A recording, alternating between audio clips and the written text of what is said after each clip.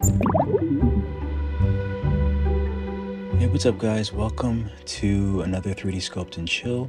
And this is the random blue dog that started out with me having to figure out something to make an eye tutorial.